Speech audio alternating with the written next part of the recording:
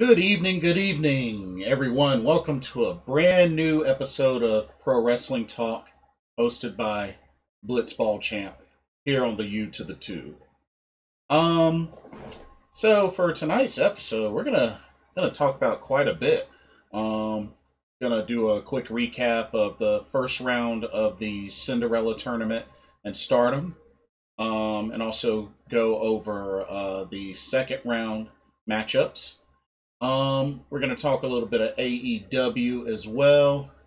Um, we're also going to talk uh, uh, up a um, update on the New Japan Pro, excuse me, the New Japan Cup USA tournament, which uh, had the semifinals, which just um, finished. I just finished watching um, about a couple of minutes ago. So going to go over that and um, of course, going to talk about WWE um, mostly um, just a recap of the week, but also um, we had some some releases that were posted. Um, apparently, ten superstars, I believe, ten superstars from the WWE got released, and apparently one AEW star got released as well. So I'll go over over those as well. But uh, we got a good bit to talk about tonight, so um, definitely good to be back on here. But uh, yeah, let's go ahead and get started with Stardom. Let's start off with some Stardom. So, the Cinderella tournament has already kicked off, gone through the first round matchups.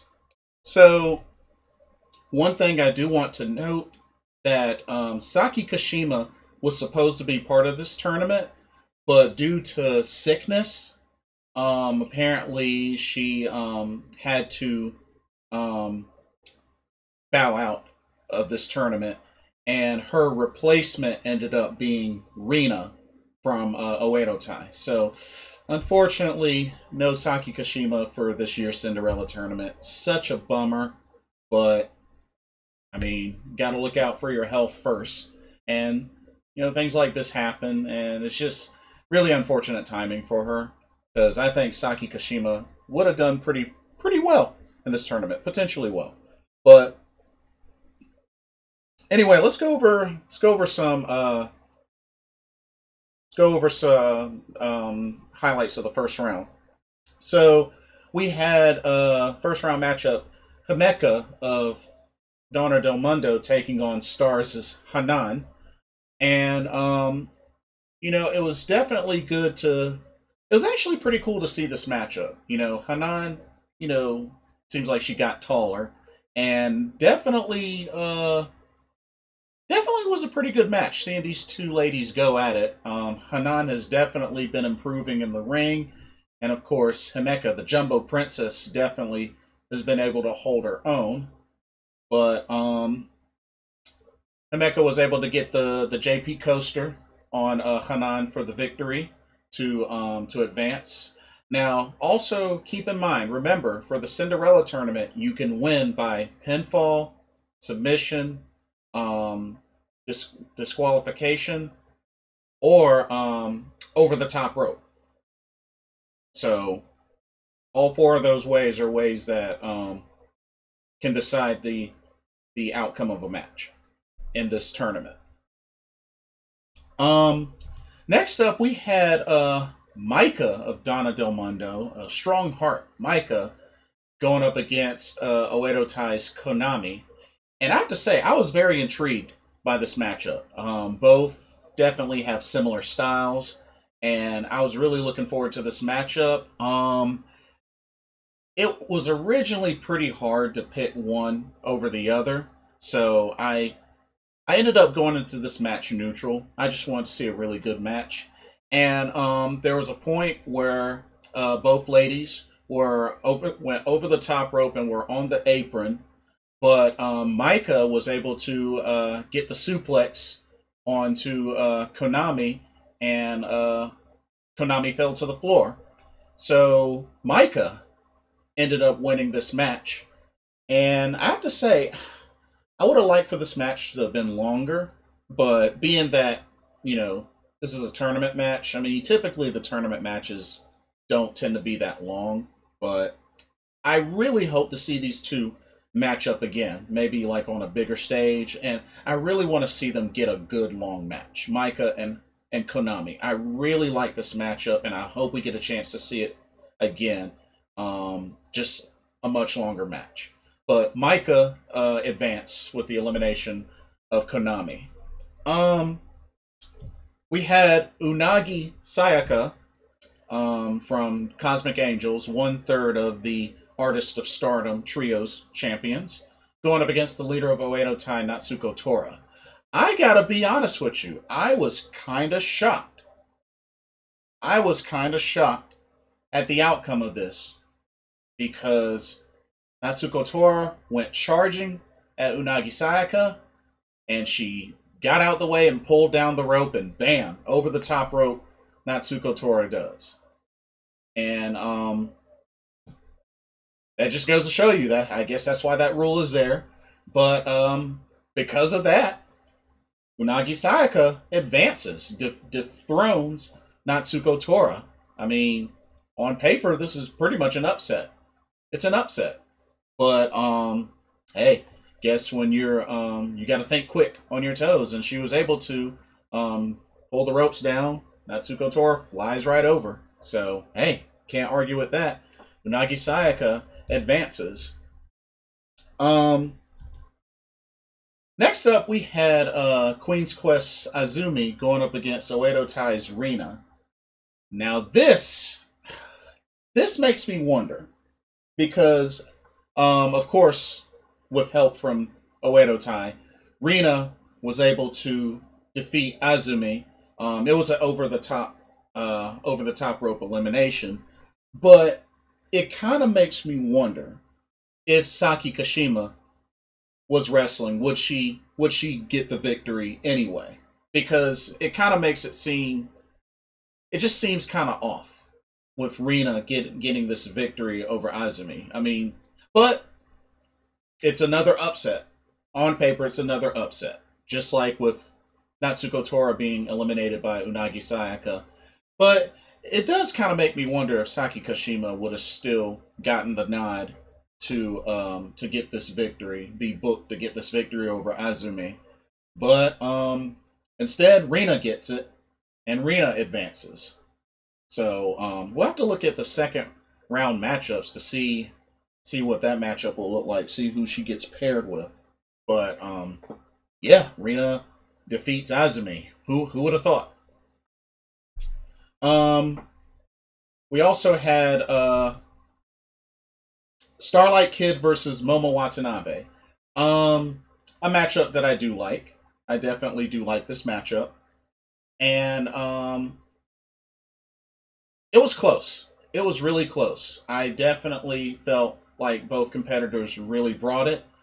But once again, another over the top rope elimination with the help of um, a Kichan bomb, which is something I haven't seen Starlight Kid do in a while. I feel like it's been a while since she's done that move lately. So she was able to pull it off on the apron on Momo Watanabe and was able to defeat Momo Watanabe. And I was kind of. A part of me was bummed because one of my thoughts was potentially Momo Watanabe winning this tournament because I felt like she really needed a big win to really bounce back and get her into the title picture because she, you know, she's had a few title shots, but really just hasn't been able to get the big wins lately. So I was thinking this tournament was going to be what kickstart Momo back into the title picture, but didn't go well, but hey, I do like Starlight Kid, so you know, like I said, I, I'm okay with the result. I just kind of feel for Momo Watanabe because she was somebody that I was kind of thinking would be a good pick to win this tournament. But Starlight Kid gets the victory and she advances. Um, we had Mayu Iwatani, stars as Mayu Iwatani, going up against the newest member of Oedo Tai, Fukigen Death which I mean, I was kind of disappointed with um, her new look. I mean, she's she's in the same clown outfit, but just different different face paint. Like they could have really done something like different to make her different and unique. But she pretty much is just looks like Gokigen Death with different face paint. That's it. So I don't know. I hope I hope they uh I hope they kind of change up her look a little more from the clown outfit. It just with her being an Oedo Tai, it just just looks weird. But at least you know she did pretty much embrace the Oedo Tai ways. Um, it took a little bit, but she embraced the Oedo Tai ways during the match. But unfortunately, it wasn't enough for her to defeat Mayu Iwatani as Mayu Iwatani was able to get the victory, which, not surprised. I mean, can't have the icon of stardom get upset like that in the first round. You know, no offense to Fukigen Death, who is a good wrestler, but I, I felt like it was obvious that Mayu Iwatani was going to win. Um, we had Julia versus uh, Ruaka, um, Donna Del Mondo's Julia, Oedo Tai's Ruaka, and um, I gotta give it to Ruaka. She she brought it. She definitely brought it in this match. But I mean, it is Julia, and uh, Julia was able to hit a Northern Light bomb and uh, get the victory over Ruaka.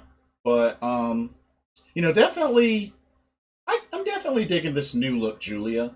I mean, I'm not a super big fan of Julia, but I definitely dig this new look of hers. It, it works. It definitely works. Um, we had Utami Hayashishita of Queen's Quest, the current World of Stardom champion, going up against uh, Cosmic Angels Mina Shirakawa, uh, one third of the Artist of Stardom Trios champions. Um, once again, another great match from Mina Shirakawa. And of course, she got the preemptive attack on Utami while she still had her um, entrance gear and her mask on.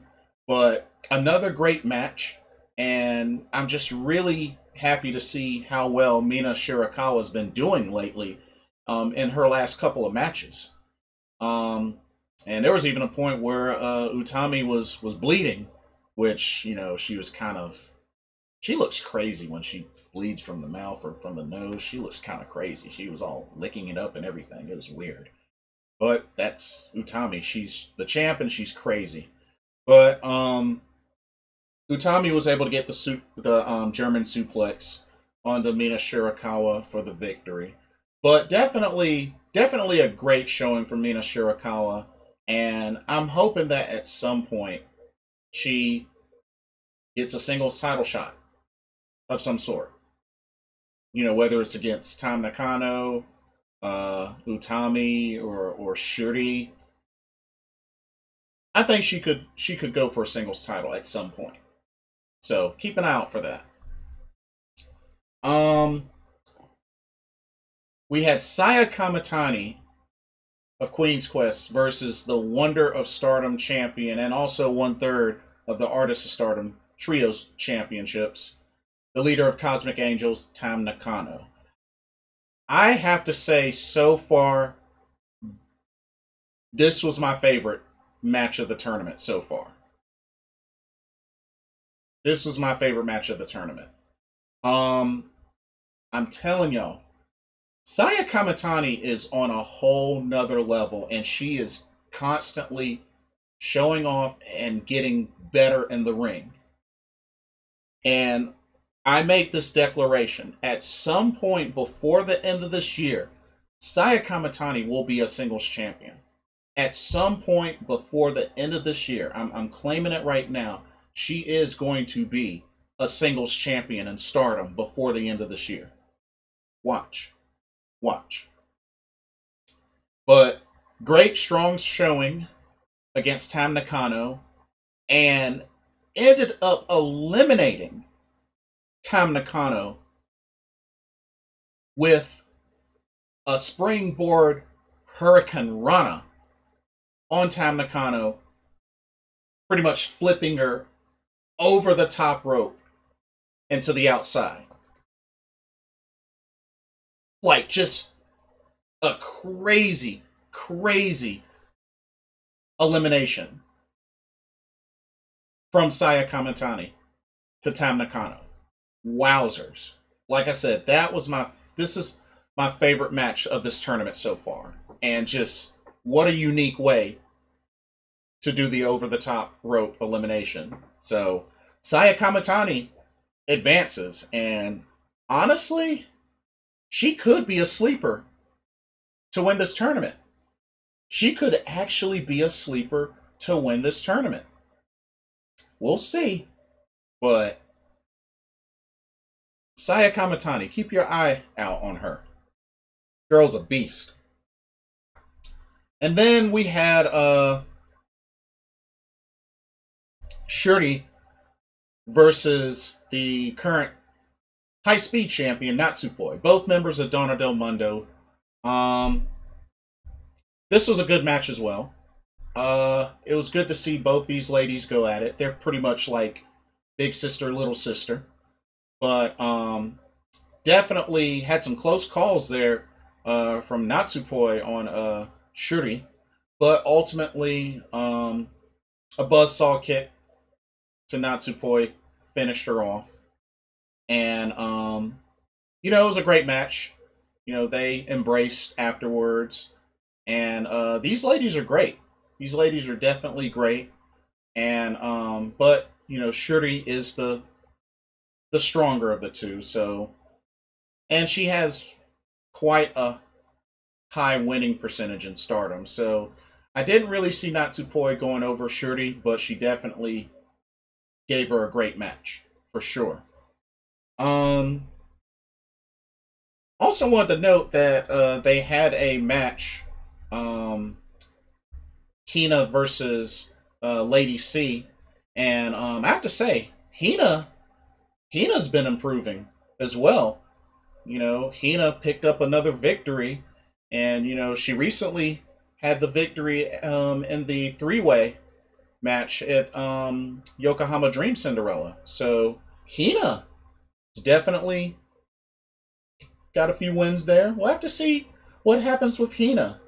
Keep your eye out on on Hina.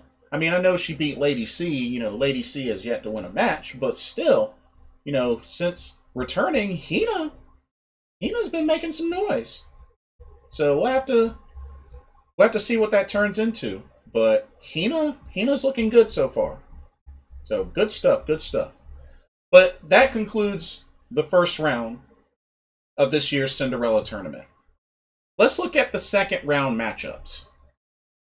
Okay, so the second round of the tournament will take place at Korakuen Hall on April 30th. So we we still got a little bit of time before then. Um, they're going to do some some more Stardom uh, regular uh, tapings, but the continuation, pretty much the rest of the tournament, will finish out on April 30th. But here are the matchups that we have. So, second round. Um, so we got Shuri versus Utami Hayashishita. So we potentially have a preview of a future World of Stardom championship match in this tournament with this matchup. So we got Utami Hayashishita, the World of Stardom champion, taking on the SWA and one half of the Goddess of Stardom championships, um, Shuri, who's champion with um, Julia. I failed to mention that earlier. But yeah, honestly, this this could go either way. This could go either way. So this this should be a good match. This should be a really good match. And the crazy thing is, the winner of this match will go on to face Unagi Sayaka. so either way, she's gonna have her hands full against either Utami or Shuri. But yeah, the winner of that matchup will face Unagi Sayaka. Okay, and then we got Julia we got Julia versus Maika. So another uh, Donna Del Mundo showdown. Um, this should be really good.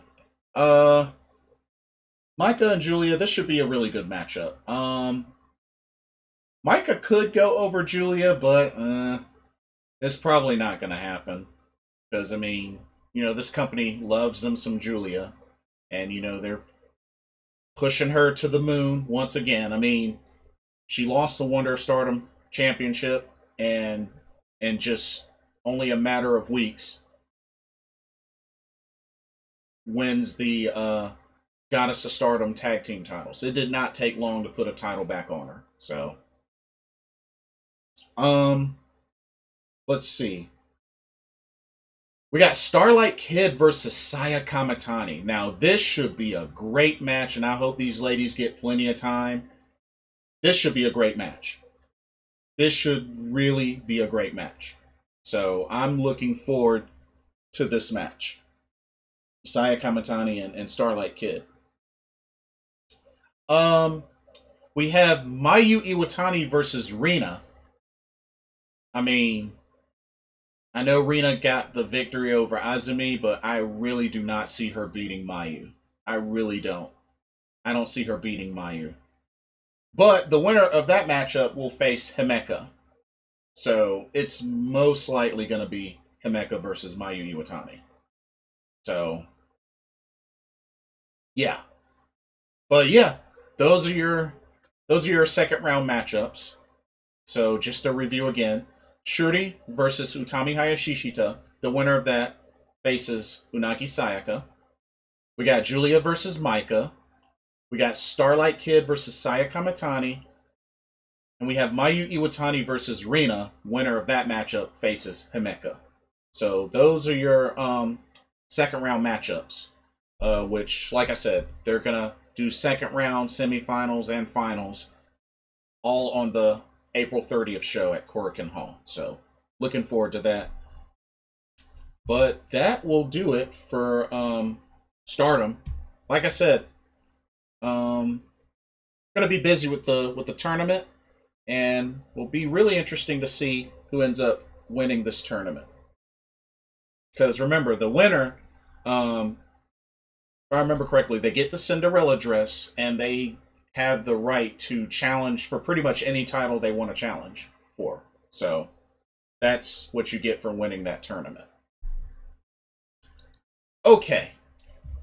Um, let's talk a little bit of New Japan Pro Wrestling. Um, we had the semifinals of the New Japan Cup uh, earlier, and um, also had a uh, eight man tag team match to start off. Um, it was the DKC, Kevin Knight, Alex Coughlin, and Karl Fredericks against Jordan Clearwater, Adrian Quest, Barrett Brown, Mysterioso, which Mysterioso got the victory after a backstabber. Uh, got the victory for their team, and apparently Barrett Brown was pissed about it, which was really weird it's like, uh, hello, we, we won the match. And he was pitching a fit. So, yeah, interesting sequence. But pretty much, it was, you know, a couple of the young lions in this match. Uh, so we got to see those guys showcased. Uh, Mysterioso, which I've seen before. So, um, so yeah, it was an opening opening match. It wasn't a long episode, so yeah. First semifinal matchup was Tom Lawlor, filthy Tom Lawlor, versus Hikuleo.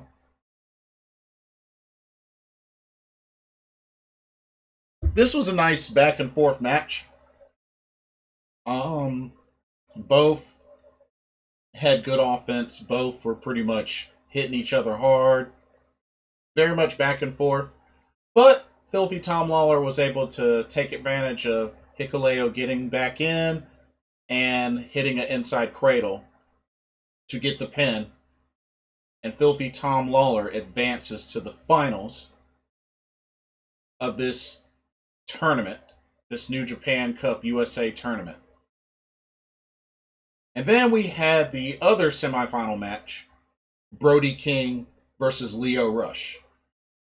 Um, this was definitely a match I was hyped about, and it definitely showed. And you know, it wasn't a it wasn't a given for Brody King because after all, Lio Rush has beaten bigger opponents before.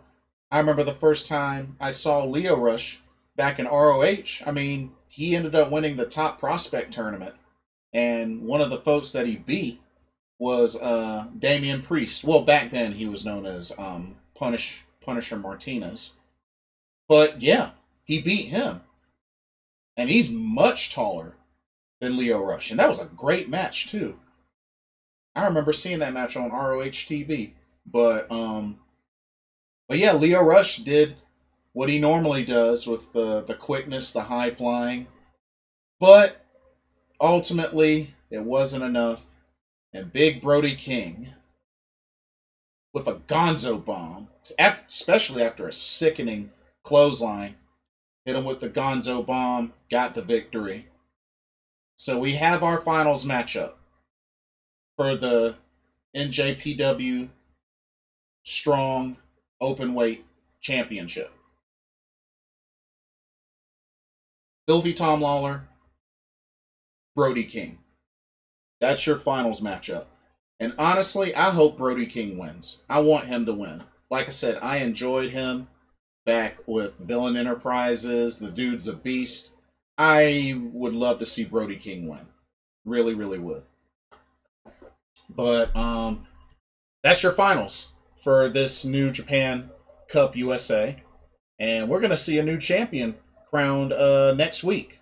So should be interesting. Should be very interesting. But um that is pretty much it for New Japan Pro Wrestling. I know uh they don't have I know Wrestling Dontaku isn't until May 3rd. So they still got a little while. They're still rocking on the road to Wrestling Dontaku tour. So that's still going strong. But yeah, they're going to be busy. Going to be real busy. Uh, just a couple of highlights from from AEW. Um, had an incredible, incredible AEW Tag Team Title match. The Young Bucks defending against Death Triangles, Rey Fenix and PAC. Um, like I could see these two teams wrestle over and over and over again. And it's to be special every time. Um Fenix, that dude is insane with a lot of the stuff that he does. But just seeing the, these two teams wrestle, I mean, it's just it's magic. The chemistry, the spots, just it's magic. Of course, Young Bucks with the the changed attitude. You know, the elite are back. But um of course, Young Bucks doing doing some dirty tactics and snatch the mask off of uh, Rey Fenix. So he got demasked. And then um they were able to capitalize and uh pin him for the one, two, three. So just yeah, dirty, dirty move. But um it was definitely a great match. I mean, we saw a lot of high flying. We saw another Canadian destroyer, which seems to be common in this in this matchup. But um everybody was flying all over the place. Um, especially Fenix. Fenix, that dude is sick. Like the moment where he leaped over the barricade and then came back and hit a jumping cutter was just oh my goodness. Fenix is insane. That dude is insane of a luchador, of a high flyer, cruiserweight, whatever you want to call him. Rey Fenix is insane in the ring. That dude is insane. Um but yeah, Young Bucks do retain, not surprised. But like I said, they're um they're heels now. And like I said, they're back with Kenny Omega. The Elite are back. Um had Jade Cargill wrestle Red Velvet and beat Red Velvet. Man, I was so mad. I do not like Jade Cargill. I don't like her. I don't like her. But I gotta give kudos to Jade Cargill, or not Jade, bump her, Red Velvet, for bringing it in this matchup. I honestly thought there was a good chance Red Velvet could pull it off, but nah, they're gonna continue to build up Jade Cargill. She's currently undefeated, so they're probably gonna keep building that her up and get her up in the rankings. Um, the worst segment of the night though was okay Anthony Ogogo's match, his debuting match. He got a victory by referee stop stoppage from one punch to the gut on this this debuting jobber, this Cole Carter. Really? A gut punch? I know he's I know he was a boxer, but Really? Not even a pin? Or any, just a gut punch equals a referee stoppage. That was just lame. That was a really lame finish. That that was a lame finish. A really, really lame finish. But that's the debut of Anthony Ogogo. Just really, really dumb. Um, we had Chris Jericho versus Dax Harwood, which was a good match. There was a lot of um, involvement, of course, between uh, Sammy Guevara and Cash Wheeler, and Mike Tyson was the special enforcer. But um, it was definitely a good match. Uh, definitely back and forth and you know there was some interference here, interference there, but Mike Tyson was the equalizer ultimately. Uh, ended up knocking out Cash Wheeler, just just good old knockout punch. but um, but yeah, Jericho was able to get the victory, and I know that uh, the Pinnacle tried to interfere as well, you know, and then the uh inner circle was pretty much like I said. Everything was kind of uh, chaotic, but Mike Tyson was really the deciding factor. You know, was the ultimate equalizer. But um, Jericho gets the victory.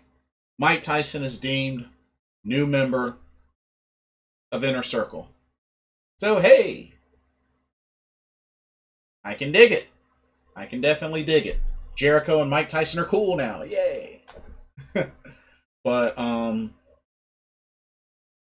it was good to see uh Kris Statlander uh made her in-ring return, uh defeated Amber Nova. Um she looked great.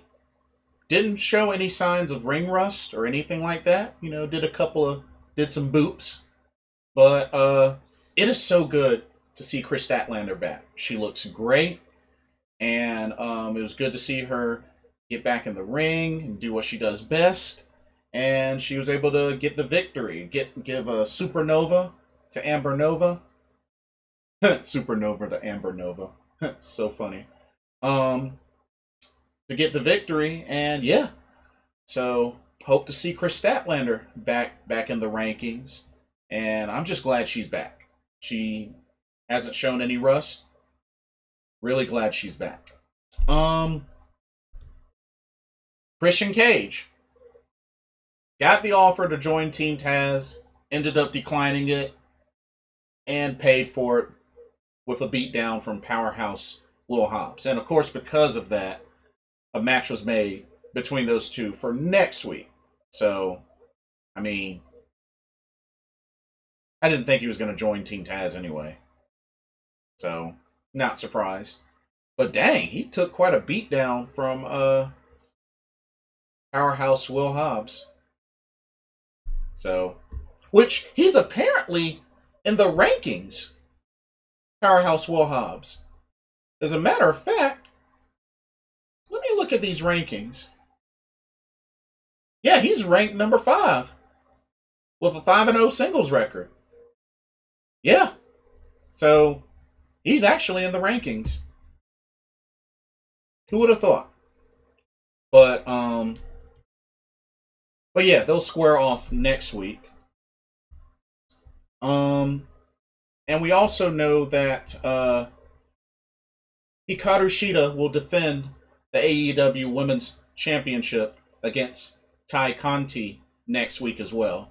Which, I mean, ultimately, it's looking like what's going to happen is Shida will retain, which will cause her to fall in the rankings, and pretty much Britt Baker will end up being number one. I mean, she's been wrestling and been getting getting victories. She's been wrestling on on dark and dark elevation, trying to get her wins back up. And you know, I'm pretty sure it's safe to say Tay Conti's not beating Shida next week. But I think what's going to happen is with Tay's loss to Shida, she'll come down and pretty much uh, Britt Baker will move up. Um, same thing happened to Red Velvet. She lost to Jade Cargill, got bumped down. Britt Baker is going to keep going up. And my guess is Britt Baker is most likely going to have her title shot at Double or Nothing. I'm already calling it. You know, at that time, that will mark the one year anniversary uh, since Shida won the title because it was Double or Nothing last year that Shida beat Nyla Rose to win the title. So I think it's safe to say that Double or Nothing will be where Shida finally gets dethroned and Britt Baker becomes AEW Women's Champion. And she will become the that means she will become the fourth AEW Women's Champion. Wow, not not a lot of women's champions so far in AEW. Because so far we we've only had three: Riho, Nyla Rose, Hikaru Shida. So it look it looks like it's safe to say Britt Baker will be the be the fourth. I just I just feel it's coming. You know, Shida's been a great champion. You know, she's she's the longest reigning champion of AEW. And you know, at that time she she will have had the title for for a year. So I think it's safe to say that's probably where Shida will get dethroned. My only my only complaint, and this is a minor one, my only complaint is being that still to this day, Britt Baker has not defeated Nyla Rose, and Shida has beaten Nyla Rose three times. Something would just kind of feel off if Britt Baker were to dethrone Shida, but yet not one time has she ever beaten um, Nyla Rose. So that's my only kind of eh minor issue with this. But um, I was talking to a friend of mine, and he was thinking that what's probably going to happen is Nyla Rose is going to eventually get another title shot, but this time Britt Baker's going to be the champion. And then that's probably when Britt Baker will finally beat Nyla Rose. So that could happen as well. But um, we'll see. We'll see what happens. But I'm pretty sure all this is going to lead to Britt Baker getting the title shot at Double or Nothing in May. Um, main event Darby Allin defended the TNT title against Big Money Matt Hardy. Um, it was an excellent match. I mean, we saw uh, all ego Ethan Page and Scorpio Sky watching, which, like I said, don't like the fact they're that they're a tag team. But um, this match was also pretty chaotic. I mean, we saw Butcher and the Blade appear, Private Party appear, the Dark Order appear, Sting appear. Like, it was craziness. Definitely craziness. But still a great match between between these two. Um, it was definitely back and forth. Um, even uh, Murder Hawk monster Lance Archer came out, which you know he does what he normally does. But um, at the end of the at the end of the night, it was a big, big, very well, perfectly executed coffin drop off of one of those um, was it steel pillars, whatever it's called. Um, but yeah, hit a death-defying coffin drop onto Matt Hardy through a table. Was able to get the one, two, three to retain uh, the TNT Championship. This was a falls count anywhere match. So, with that being said, there's no disqualification.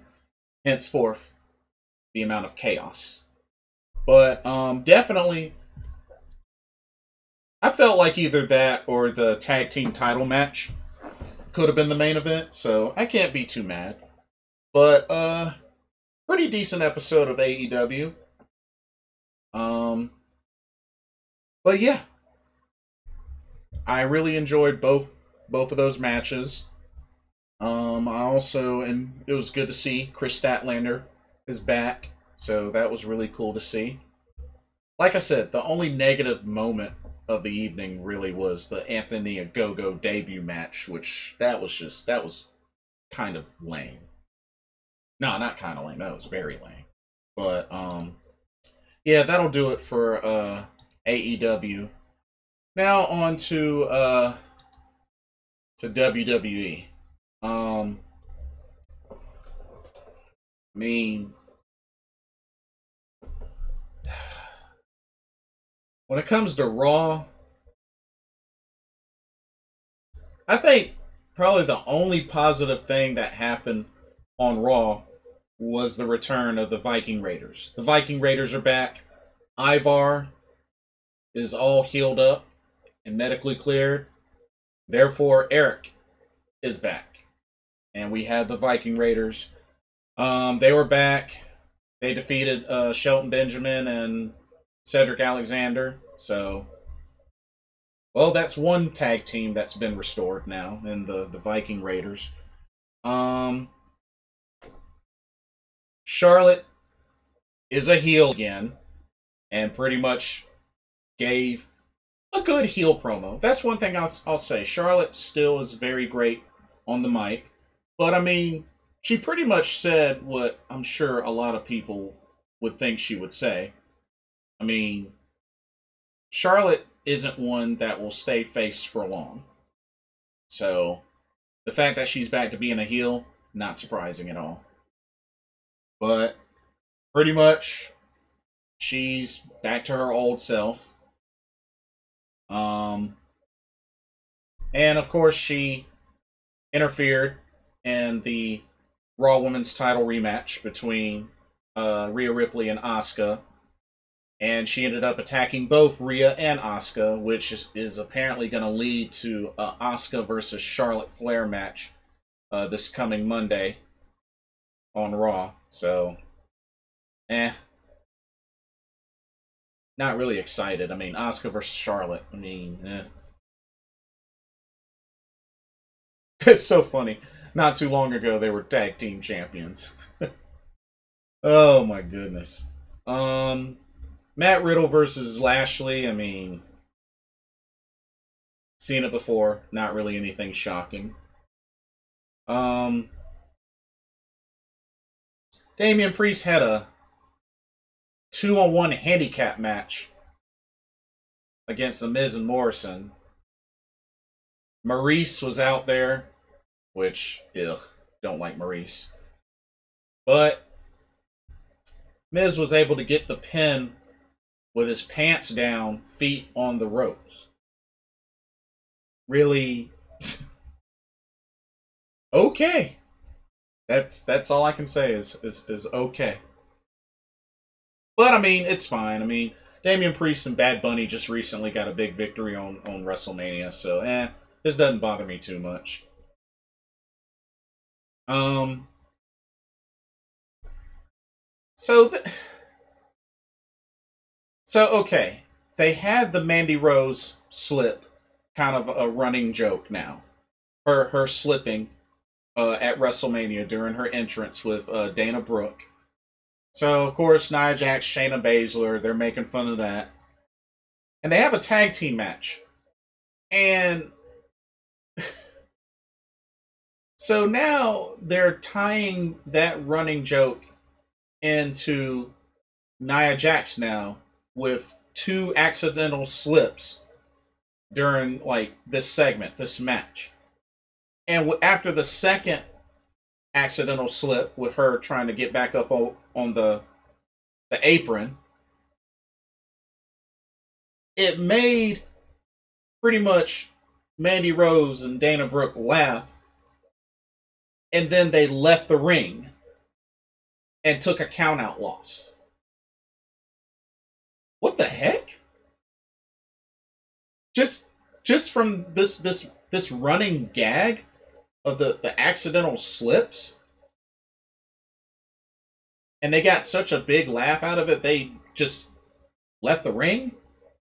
Like oh man. New day defeated elias and Jaxson Ryker and eh. And once again drew mcintyre has yet another championship opportunity as he won a triple threat match between him, Randy Orton, and Braun Strowman to secure a title shot against Bobby Lashley at Backlash. Oh, I'm sorry. WrestleMania Backlash.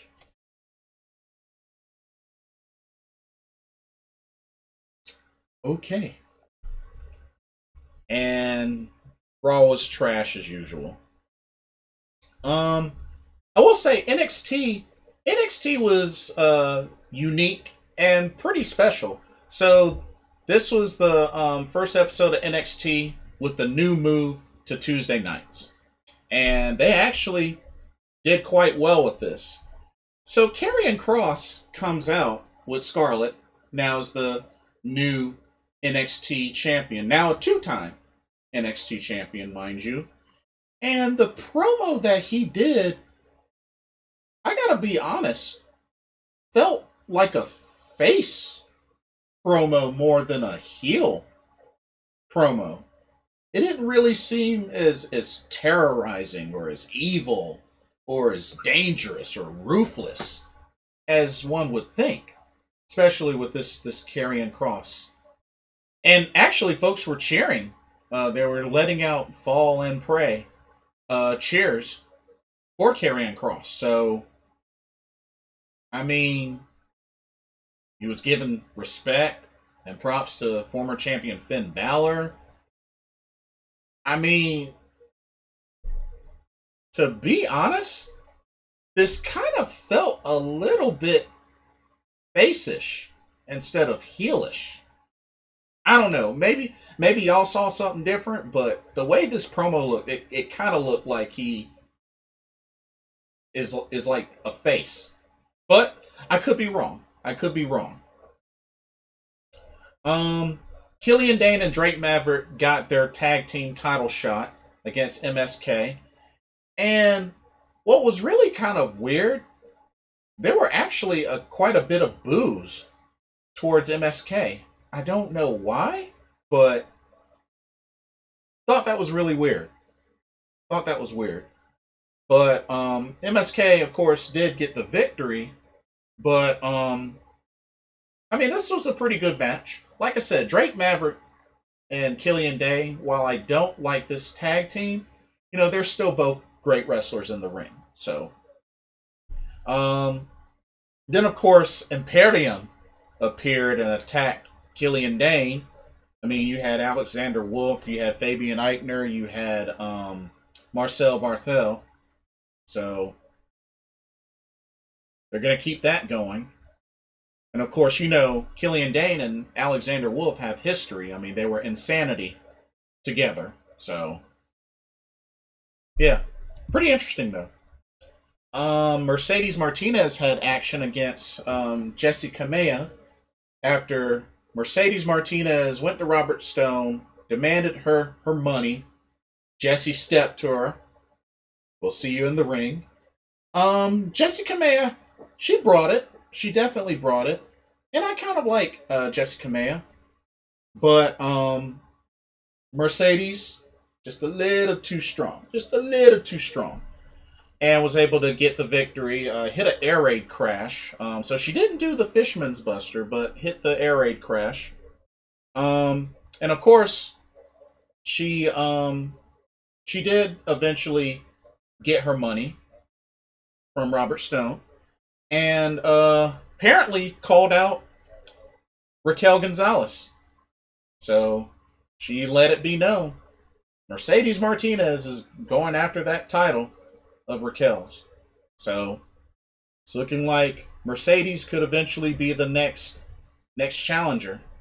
That is, I mean, I don't know. I don't know if um, Io Shirai is going to get a rematch. Uh, we don't know if she's taking time off. My guess is she probably is taking time off. I mean, she wasn't even on this episode, so she's probably going to take some time off, which is well earned, well deserved. Um, we had a big, big shocker on this episode. Santos Escobar held an open challenge for the NXT Cruiserweight Championship. You know, of course, he recently won the unified title in the ladder match at Stand and Deliver, defeating Jordan Devlin. Held an open challenge. Kushida, rocking some new gear, accepted and of course, great match between these two. You know, love Kushida. I've met Kushida. Big fan of Kushida. And finally, finally, finally, finally, in his WWE career, in his NXT career, Kushida has won the NXT Cruiserweight Championship. So we can now say that Kushida was a junior heavyweight champion and is now a cruiserweight champion here in the States. And I just, I was ecstatic. I did not see this coming, but I am very, very happy for Kushida. Um, was able to get the um, the pin to defeat Santos Escobar, and he is your new cruiserweight champion. You know, I was really hoping for him to have a title run, whether it was the North American title or the cruiserweight title. But you know, it took long enough. It took about one or two years. Two years, I think. I think Kushida's been been here two years now in the WWE. I think. But finally, tastes championship gold on WWE soil. I know he had the the setback with the injury, but I'm just really happy for Kushida. And I really hope he gets a good, good cruiserweight championship run. He deserves it. He's one of the best in the world. I mean, tore it up in New Japan Pro Wrestling. You know, let this dude have a good title run. I really hope he has a good title run. And I hope to see him versus Swerve. Because originally, I originally felt like Swerve should have dethroned Santos Escobar, but I will definitely not complain with Kushida being the guy. I just I hope eventually we get Kushida versus Swerve. I want to see that so badly. I want to see that. I would love to see that. So, looking forward to that. Congratulations to Kushida on winning the NXT Cruiserweight Championship. But looks like Jordan Devlin wants a piece of Kushida, which is understandable. Jordan Devlin does have a victory over Kushida. So, I can understand this. And I think it's safe to say that Jordan Devlin is probably going to get the next title shot. So, I don't know. Looks like, I don't know if Jordan Devlin is going to be sticking around the, the NXT umbrella for a bit. It sounds like it. So, looks like we could be seeing more Jordan Devlin here on uh, NXT. Um, we had a really, really special moment on NXT where uh, Raquel Gonzalez got a chance to address the WWE Universe. Um, of course, Dakota Kai was there. Um, shared some words. And then we had Franky Monet. Franky Monet. Ugh. Taya Valkyrie. Okay, that's that's the one time y'all gonna get it from me. That's the one time y'all gonna get it from me. But I will address her as, as Taya Valkyrie. Because the other name, Franky Monet, that name sucks. Anyway, Taya Valkyrie makes her appearance. They exchange some words. She has a little little puppy dog. And um I don't know how soon we're gonna see uh Taya Valkyrie debut, but I'm looking forward to this. It looks like they may build her up to be the next challenger, or, or actually the first challenger for uh, Raquel Gonzalez. And that should be good, but it kind of makes me wonder, though, how quick will her title reign be? Because I'm pretty sure Taya Valkyrie is going to get an NXT Women's Championship title run. It's it's bound to happen. I mean, we're talking about the longest reigning Knockouts champion, so she's going to get her title run at some point here in NXT. But we had another special moment where both Rhea Ripley and Bianca Belair show up in NXT and share the ring with Raquel Gonzalez. They embrace and they raise their titles up together. Special moment. Very, very special moment.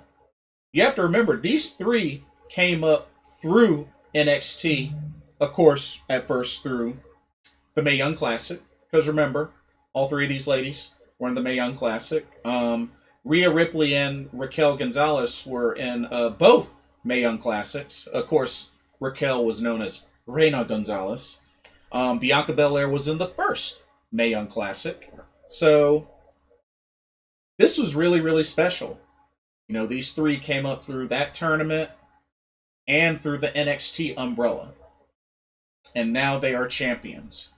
You know, even though even though Bianca Belair is just tasting championship gold for the first time because she never did win the NXT women's title, it's still a big moment considering she came from the NXT umbrella. Rhea Ripley. Wow, Rhea Ripley. Look at her resume now. First ever NXT UK Women's Champion. Former NXT Women's Champion. You know, became, you know, set the record to be the first woman to win both of those, to have held both of those titles. And now she's the Raw Women's Champion. So Rhea Ripley's had quite a journey, and she's she's a three-time champion now. Raquel Gonzalez, you know, ever since really kind of putting her in singles action, having feuds with Io Shirai and Rhea Ripley and uh, many others, Raquel Gonzalez has been tearing it up. Um, really, ever since War Games, she's just been tearing it up, and she ends up being the one to dethrone Io Shirai. And that's the thing. She dethroned Io Shirai fair and square. Because remember, Dakota Kai got ejected. So, you know, got to give props to all three of these ladies. This was a special moment, and I thought that was really cool. Having this sort of NXT reunion, and all three of them hoisting up their championships. And they even did a photo shoot with uh, Triple H. And you know, you got to give you got to give props to Triple H because hey, Triple H, NXT umbrella, he knows talent. Triple H knows talent, and this shows. This definitely shows. So very special moment. Um, we had a really great match between uh Swerve and Leon Ruff, and um, like I said, it's looking like uh, they're going to keep this rivalry going for quite a bit. But definitely love these two in the ring. These two are great high flyers, and I could never get tired of these two, to be honest with you. Um, but Swerve did get the victory. But Leon Ruff did get the last laugh backstage, giving uh, Swerve an ambush, a beat down. Clearly, this rivalry is not over. And then the main event, which was kind of funny, we had The Way versus Bronson Reed, Dexter Lumis, and the NXT Women's Tag Team Champions, Shotzi Blackheart, and Ember Moon. One second.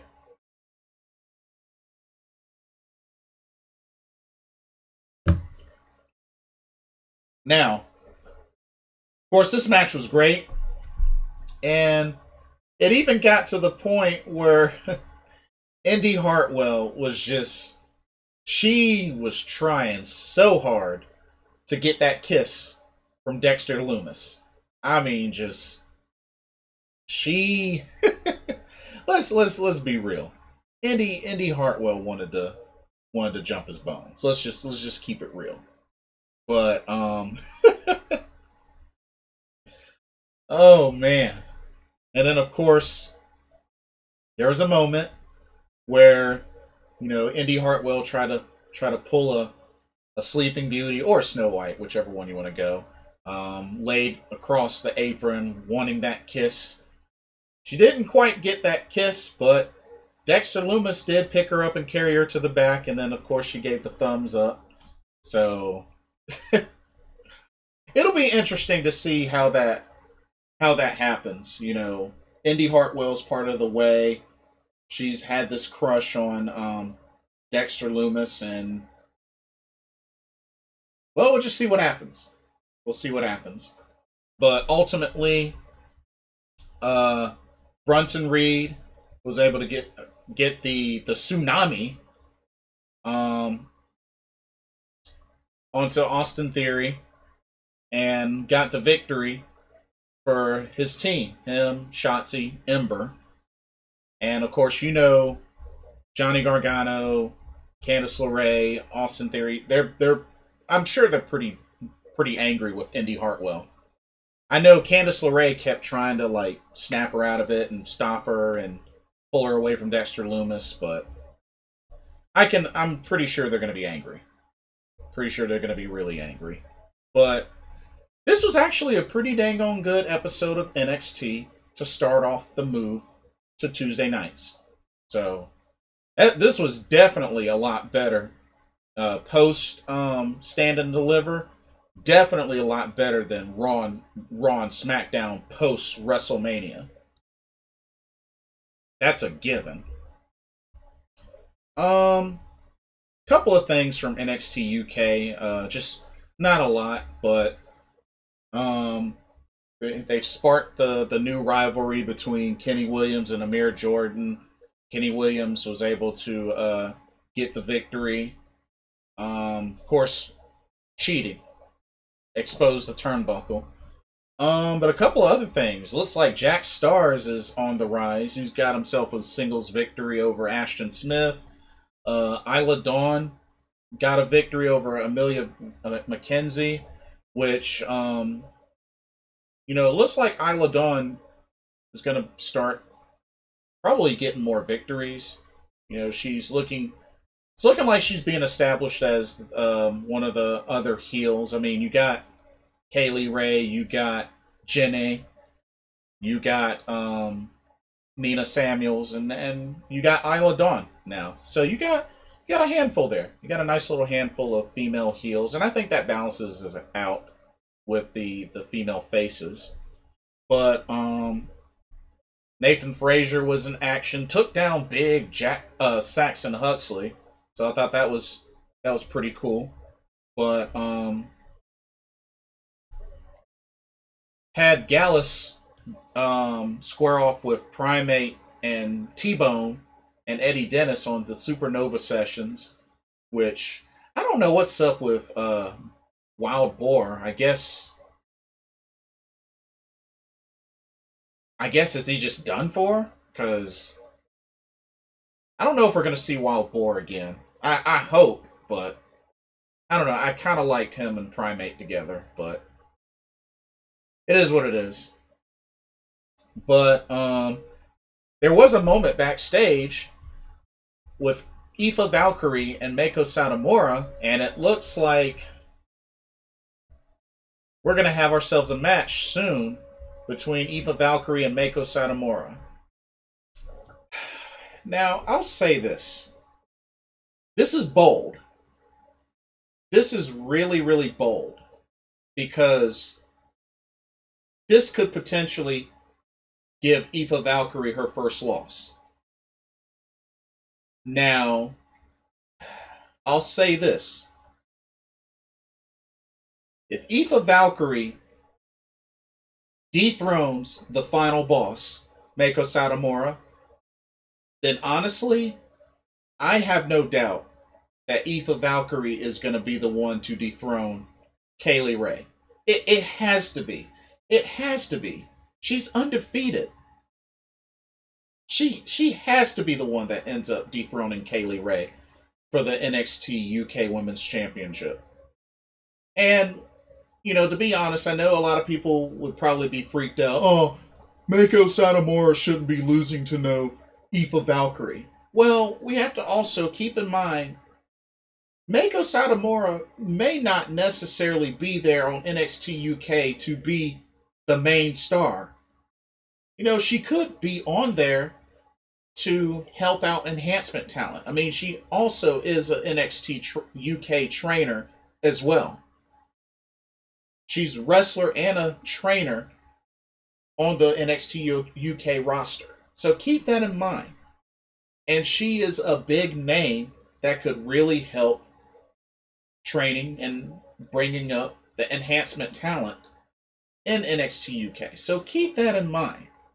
You know, we can't flip out whenever she she gets a loss like this because we have to remember what what is her main role really. You know, so just keep that in mind.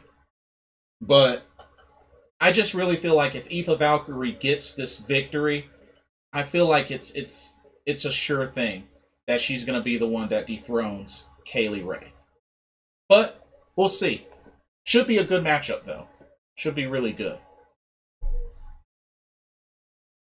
SmackDown, which honestly, SmackDown was kind of lackluster. I feel like the only good part of SmackDown was the celebration for Bianca Belair that the Street Profits threw together. That was, I felt like that was the highlight for me. I mean, the tag team title match, uh, Street Profits versus the Dirty Dawgs. I mean, that was that was all right, but everything else just. I mean, Rey Mysterio defeated Otis. I mean, eh, cool. Once again, Kevin Owens, even though it was a countout victory, Kevin Owens, once again, another victory over Sami Zayn which you know Sami Zayn paid for it anyway because he got stunned at the end of it. So it's just this is getting kind of ridiculous. Um, Shayna, ba- Shayna Baszler once again eats another loss, another singles loss.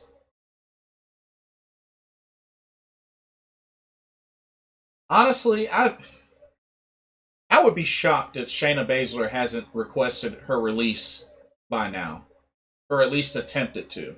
This is ridiculous. This is ridiculous. You have her as women's tag team champion, and yet she's eating singles losses. Back and forth, back and forth, and under a minute and two minutes and all that. And you're having her eat losses, singles losses. I don't get it. I really don't get it.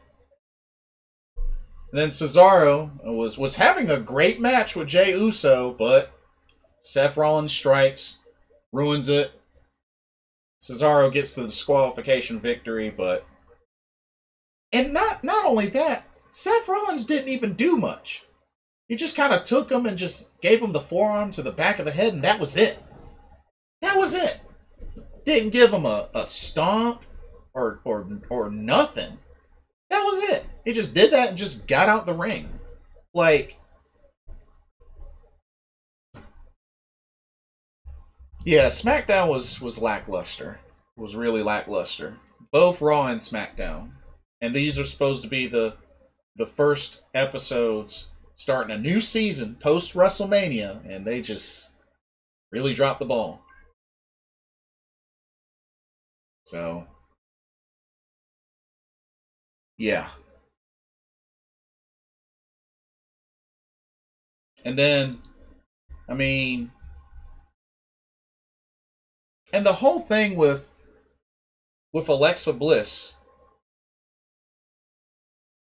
like I it just it just makes no sense to me. So now so now all of a sudden you don't need the fiend. Now all of a sudden you got all this power and it's just okay, that's it. And then the fiend looked like he was having church and he's like, you know, this the new me. I've been reborn. The fun house is back. Yay! I I don't know. I don't know. I just I I don't know what that was. Bray Wyatt just that didn't really explain anything. You know, Alexa has a new friend, Lily. Eh, whatever. I, I, I, I don't know. I, I don't know.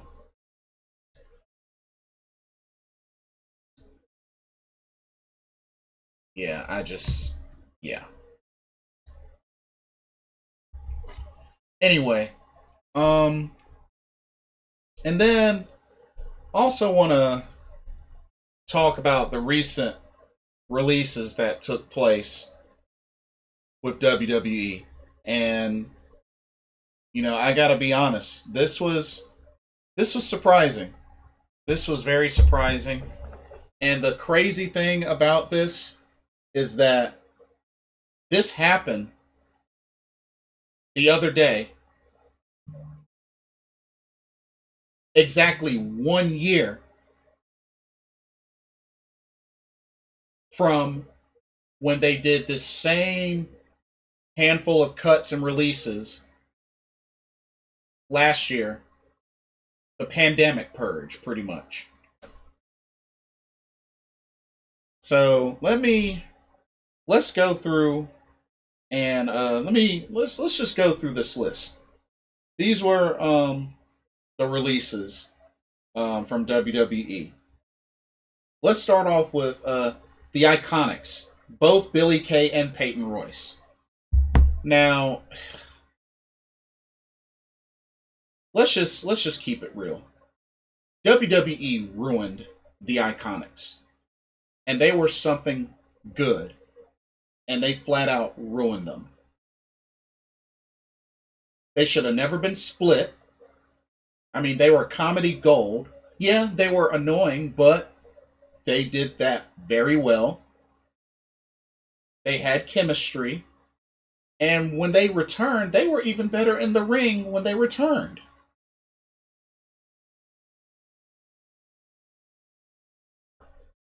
You split them up with the hopes that they could be single stars, or I don't know if there was so much on, you know, selling the idea of Peyton Royce breaking out into being this big single star, but that didn't happen. I mean, she put on some some good matches, but didn't really go anywhere.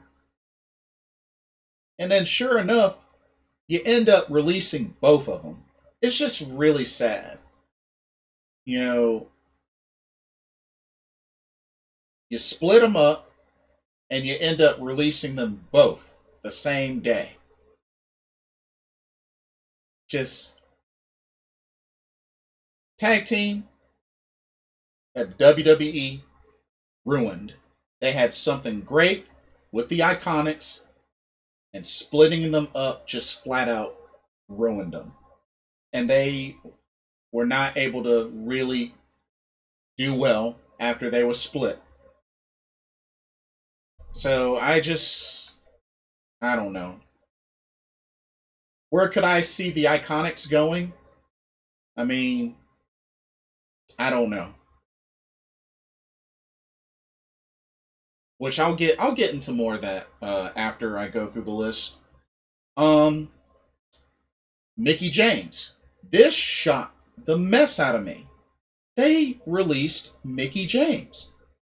Mickie James is another one of the the female icons of the WWE. Has quite a history.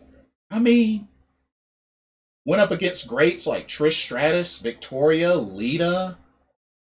I mean, Mickie James is up there.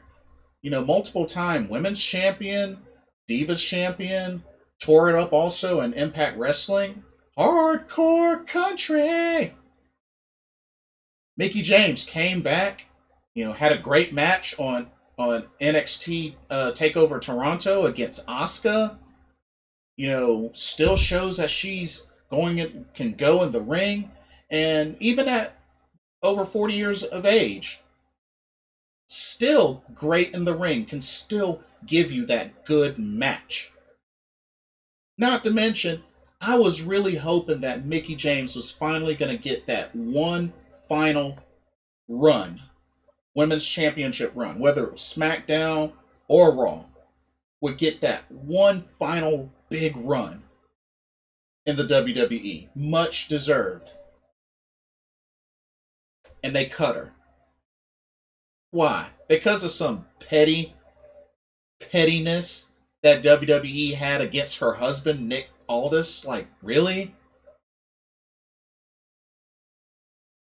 Mickie James is, is one of the greats to have wrestled in WWE. And they they they cut her like this. It's ridiculous. So ridiculous. Tucker. Formerly one half of uh Heavy Machinery with Otis. Another tag team the WWE ruined. You had something good there with Heavy Machinery. You had good chemistry. But through the whole midst of the Money in the Bank and Otis winning that, to Tucker turning on Otis in a match where The Miz won the Money in the Bank contract, and then y'all do nothing with that feud. After that heel turn, you do nothing. They have the draft, you split them both up, you put them on separate brands. We see Tucker maybe once or twice, maybe during the chase down of the 24 7 titles.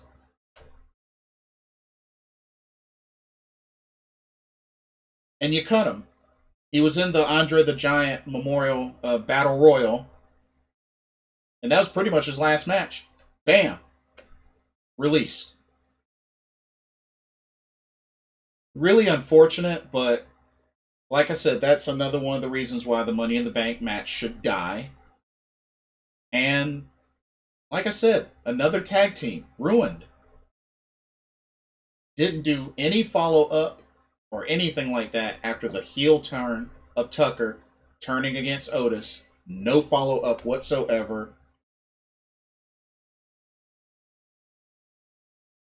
And that's it. He's gone. It's just, it's so bad. So bad. Wesley Blake. Now, Wesley Blake I thought there was a rumor that they were going to reunite him with Buddy Murphy. Of course, you know they were NXT Tag Team Champions back in um, back in NXT, um, where they used to be managed by uh, Alexa Bliss. Um, the Forgotten Sons was a thing, but after the whole mess behind some of the political posts and stuff from Jaxson Ryker, the whole Forgotten Sons that that blew up, and then that disbanded. Um, and I know Steve Cutler um, was eventually released. They had that they had that temporary partnership under Baron King Corbin, which was just that didn't last. So I mean it was just it was just unfortunate. I can't say that I'm too shocked because I mean they they really didn't put him back in any storyline, especially after the Forgotten Sons disbanded. I thought they were going to bring them back together with Murphy, Buddy Murphy, but that didn't happen. So just really unfortunate for Wesley Blake. Kalisto. This was another one that shocked the mess out of me. Kalisto, aka Samurai Del Sol, is another excellent wrestler. Uh, multiple time uh, United States champion, former um, NXT Tag Team Champion with um, uh, Sin Cara, the Lucha Dragons. Lucha, Lucha, Lucha. But excellent wrestler in the ring. I know that he was split from the um, Lucha House Party, but I was hoping he could have he could have been one that returned to NXT. Could have been going after the Cruiserweight Championship. Or they really could have showcased him more, maybe feud with Rey Mysterio. Or maybe even partner with Rey Mysterio. But they cut him. So that was that shocked the mess out of me. You know, they, they didn't have him on TV as much since the split up. I mean, they had a, had him in backstage moments, but since the split up with Lucha House Party, they just haven't featured him much. And he's a great wrestler. So that one that one was a shock to me. Chelsea Green.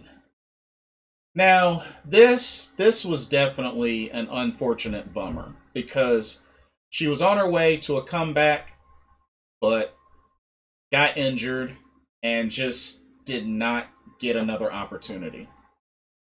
And it's it's unfortunate cuz Chelsea Green, she's good in the ring. She had something strong going on NXT, got moved to the main roster, but got injured. And just, I really would have liked to have seen her get a chance. I really do, but she never got that chance on the main roster, and just it sucked that it that it came down to this. It it, it really sucked. But um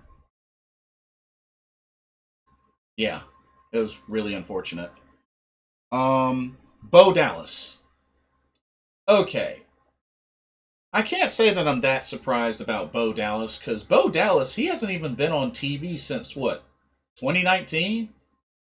I think the last match that he had, I think Curtis Axel was still still there, and they were uh, the B team.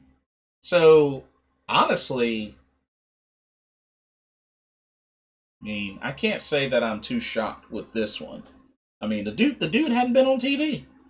Had, he hadn't been on TV since like uh, since 2019. I mean, I mean, it's cool that he was still able to collect a paycheck, but dude hadn't been on TV. So, yeah, that's all I could really say with that. I mean, it would have been nice if they had done something with him, but they didn't.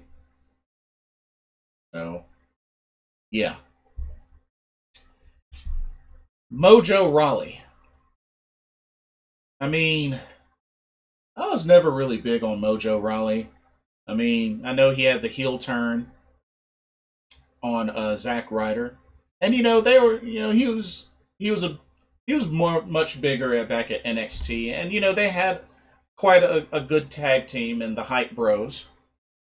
But I mean, I've never really been that big on Mojo Rawley. Um, he had the heel turn. I think he was. I think they were feuding. He was feuding with Aleister Black at one point. I think, um, as well as Zack Ryder. And I think he wrestled a bit on main event, but I mean, I don't know. I just was never really sold on Mo- Mojo Rawley. Um, Samoa Joe. You know, I was thinking that when they made the the commentator edition for Raw, I was thinking that was a sign that Samoa Joe was going to be returning to the ring. Which apparently he's been wanting to return to the ring, but apparently the word is he never got cleared by WWE doctor and medical squad to return to the ring. But Samoa Joe was great on commentary. I mean, he was doing his thing. It was just such a bummer that they released him. Um I just I really hope and but I but I honestly believe it won't take too long before he gets picked up. I really feel he he's got a home somewhere. So I don't think it'll be too long until he gets picked up. Now, as far as like where I think a lot of the talent could go, I mean Samoa Joe, I mean he's he's Impact Wrestling alumni, he's ROH alumni. I mean he could go to AEW. Oh, and before I continue on with that, folks need to stop assuming that just because somebody is released, oh, they should go to AEW, AEW, AEW. Oh, they're not getting booked well in WWE. They should go to AEW. Just because they're not with WWE or get booked there does not mean that by default they will end up getting booked correctly or shining in AEW. And it doesn't necessarily mean that they want to go to AEW. Like, we have to also keep in mind that these wrestlers are going to go where they feel that they will do well at. They're going to go where their hearts desire. Whether that's back to the indies, whether that's to ROH, uh, to another country, Impact Wrestling, wherever. But we need to stop assuming that everything will just be made better if they go to AEW. That's not automatic. We need to get out of that mindset. Just because we want to see WWE suffer, you know, some fans may mark out for AEW or, or just want to see WWE suffer. I get it. But just because they get let go somewhere does not mean automatically they're going to shine in AEW. AEW isn't the only successful promotion out there, nor is it the only promotion that exists. And at the end of the day, if Samoa Joe wanted to go to Impact Wrestling and he would be happy, then that's all I really care about. That's all I care about if they're going to to promotions where they feel they can shine and they feel that they can be happier, I'm all for that.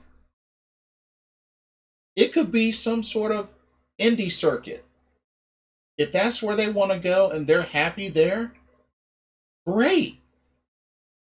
But it just it gets annoying when a lot of these pro wrestling fans are like, "Oh, they're no longer with this company. Oh, AEW, AEW. No. That doesn't necessarily mean that they're that AEW is going to end up being best fit, nor does it automatically mean it's going to work out. There's no guarantee. There's no guarantee. Main thing is that they go where they want to go and where they feel they will be happiest and successful. Keep that in mind. But you know, the Iconics, who knows? I mean, I could see them, you know, maybe Impact Wrestling, maybe even ROH. I mean, you know, I mean, do you keep them as a tag team? I I would think so. It'll be good to see them debut as a tag team somewhere. Um, Tucker. Not sure. Not sure. Wesley Blake, Not sure. Kalisto, I mean Kalisto, you could put you could pretty much put him anywhere. You know, whether he goes back to um I mean he could go to Impact Wrestling, ROH, AEW, New Japan, uh CMLL or somewhere like he could go anywhere and he would do fine. Um Bo Dallas. You know, this sounds weird. I could see I could see Bo Dallas in uh, NWA, and maybe even uh, Tucker and Wesley Blake, maybe in uh, NWA or AEW. But I could actually see Bo Dallas in uh, NWA. I know that sounds weird. I think I could see him in in NWA. Uh, Chelsea Green. I mean, I guess she could return to Impact Wrestling as Laurel Van Ness. I mean, Zack Ryder, aka Matt Cardona's there. You know, her husband's there. So, again, I mean, she could do that. I mean, ROH could work. Um, you know, they got that women's tournament coming up to uh, crown a new um, Women of Honor champion. So she could, she could debut for that. But um, Chelsea Green, you could pretty much put anywhere, and I think she'll do fine. Um, Mojo Rawley, maybe NWA. I don't know. Maybe NWA. Samoa Joe, another one you could pretty much put anywhere. Like I said, he's ROH and Impact Wrestling alumni. Um, could tear it up in AEW, New Japan. I mean, you could put him anywhere.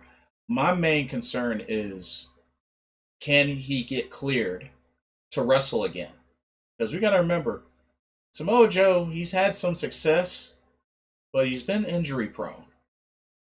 You know, the concussions, the knee injuries, like he's he's injury prone. So, I mean, I hope he can get cleared to get back in the ring again. But even if not, he could still go to ROH or Impact Wrestling and be a be on the commentary team and still deliver impact on the mic. I mean, after all, he's alumni. He's well known, well respected. But um we'll see what happens. Like I said, I hope each of these wrestlers get a chance to continue their careers elsewhere. I, I hope it doesn't take long for them to find jobs.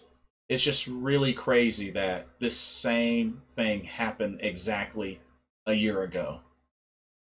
And, you know, one, you would think WWE's, you know, this financial budget cuts or whether, or whichever. But realistically, it, it it's it's ironic if this if these are budget cuts yet despite you know you got the deal with Fox. You got the the deal with um with DraftKings. You got the multi-million dollar deal with uh the WWE network going to Peacock. It's like uh it just makes me feel like, uh, are these really budget cuts? Are these really financial cuts? Are y'all really in a bind? Well, y'all just spent all that money on partnership with DraftKings and Peacock, so yeah. I I I don't know. It's just it just really makes me question some things with with uh WWE and just decisions that they make. But yeah. I, I don't know. But anyway, uh that concludes this uh pro wrestling talk episode. Uh, I know we went pretty long, one of my longest episodes, but just there was a lot to talk about, but let me know what y'all think.